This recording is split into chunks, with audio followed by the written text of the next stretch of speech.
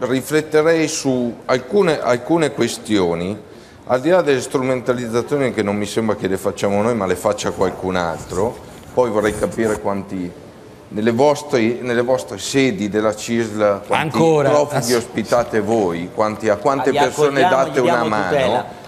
Io vi dico che il problema è questo, che la gestione del fenomeno dell'immigrazione in Italia è stata utilizzata attraverso la questione dei profughi, ma qui arrivano non solo profughi, arrivano anche tantissime altre persone che non sono controllate e che non scappano da guerre. Per cui la strumentalizzazione non la si fa da una parte, la si fa soprattutto dall'altra e la gestione da un anno e mezzo a questa parte del governo è stata fallimentare per tantissimi motivi. Il primo è che ci sono state numerose vittime, eh, numerose vittime nel Mediterraneo. Il secondo è che sono stati spesi tantissimi soldi che vanno in tasca delle cooperative che fanno Guardi che dite la stessa cosa però sulla così, eh. pelle L'ho della gente. Si iscrive alla questa CISL cosa così va lei, però, denunciata. È un anno e mezzo che noi No, andiamo avanti così. d'accordo con la mi Fiora. scusi, mi scusi, finiamo.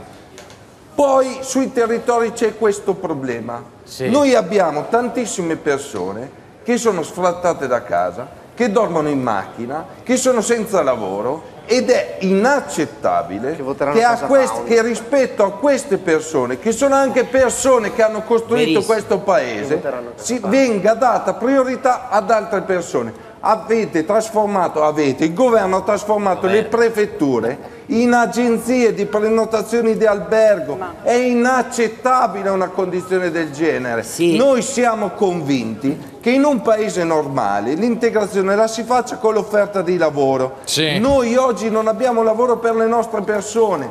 L'abolizione del reato di clandestinità è stato un errore il 50% dei ragazzi all'Expo hanno rinunciato al lavoro. Dai, fallo finire. finisco, io Vai. vi ho lasciato parlare. Dai, dai. Quando lei dice che l'Italia è uno degli ultimi paesi che aiuta queste persone a casa loro, io sono d'accordo con lei. Sono talmente Ma tanto d'accordo. aumentato sono talmente tanto d'accordo con lei che penso che le spese che vengono fatte per operazioni dissennate come quella di Tritomo o di Mare Nostrum debbano essere fatte con l'aiuto e il coordinamento dell'ONU all'interno di, di quei territori, anche con i soldi italiani.